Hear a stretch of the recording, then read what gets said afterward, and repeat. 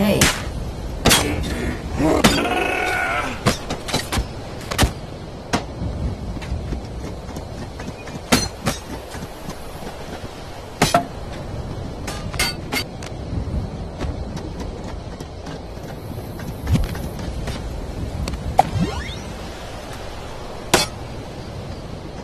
You're an abomination.